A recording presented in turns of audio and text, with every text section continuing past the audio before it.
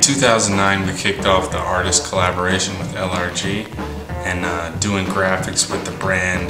And it's just grown and grown from doing graphics to doing collaborations on walls, with art shows, etc. And basically, LRG has just been really supportive and uh, solid in actually helping me push push me further in my art career and my illustration career and everything else. And everything I get to design for different lines is pretty open-ended.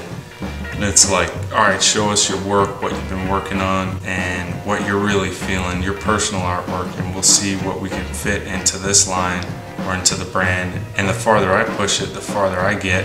They basically support that, stand behind me, and that's real sick. It's a sick thing and hard to come by. But this particular project is taking like a wall tour it's the shit. It's basically the dream. Getting sent around to paint pieces in different cities, link up with crew and friends, paint a burner, but based off graphics.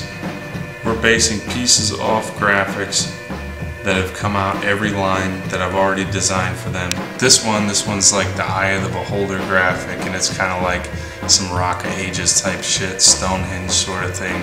And I just adopted my name into the design that I already did for them and rocked it on the street, and I think it, it came out pretty well. So.